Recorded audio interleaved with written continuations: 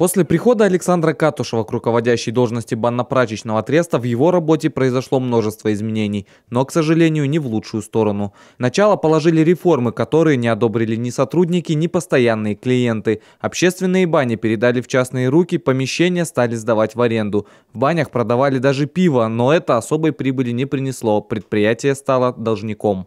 В 2018 году произошло повышение по закону э, МРОД, да, увеличение.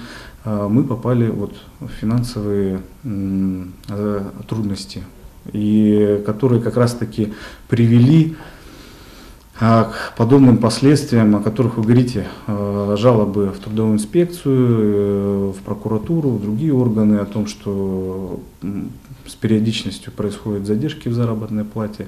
На сегодня э, задержка есть, но она не критическая, 4 дня. Этим словам меньше года уверенный и опытный руководитель за это время, казалось бы, в состоянии вытащить предприятие из долговой ямы и добиться того, чтобы сотрудники получали зарплату вовремя. За 9 месяцев не удалось стабилизировать экономику предприятия, хотя, судя по всему, такой задачи Александр Катушев и не ставил. Долги по зарплатам достигли полутора миллиона рублей. Такая ситуация вынудила работников Треста пойти на крайние меры. Работники банно-прачечного треста, объявили голодовку в связи с тем, что с мая месяца мы не получаем заработную плату. Сейчас нас отправили в отпуск. Кстати, только что были подписаны приказы у нас на глазах. Вон все спрятались, офис переезжает.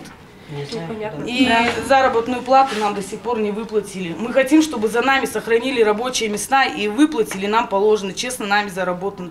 Потому что среди нас находятся беременные, пенсионеры, Жить нам не на что, мы с мая месяца уже это все терпели.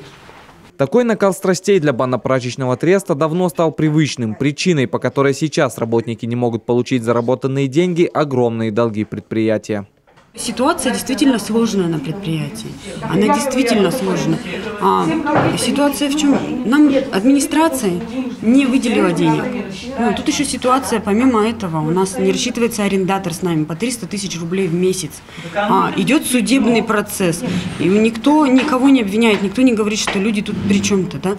Сегодня пришли люди. А, мы каждый день.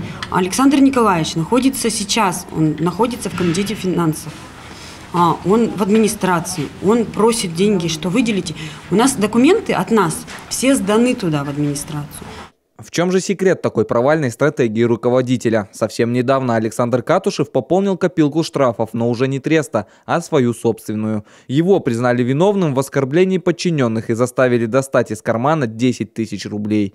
В данный момент голодовка подчиненных продолжается. ЗАП ТВ следит за развитием событий. Иван Тимофеев, Николай Шунков, ЗАП ТВ.